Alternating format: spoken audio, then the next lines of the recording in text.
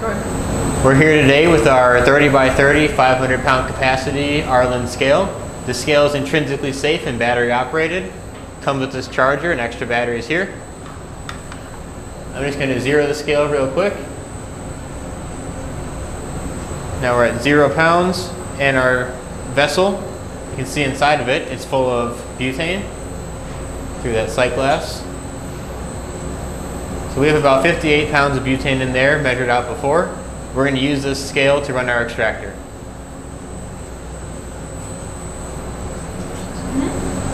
Now we're going to start running our extractor by running 25 pounds of butane through a column.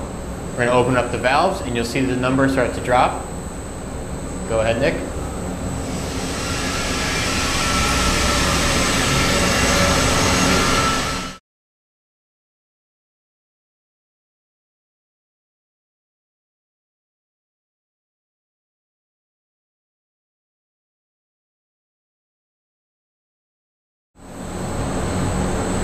As you can see, we're approaching the 25 pounds we wanted. We just take the absolute value of the number displayed on the scale, and that's how we get what we want.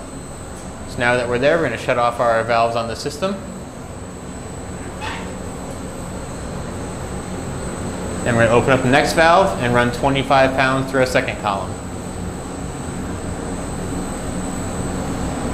Having a scale like this makes it super simple to keep track of how much butane you have in which columns and makes it easy to make all the columns accurate when you have more than one column in a system like we do today.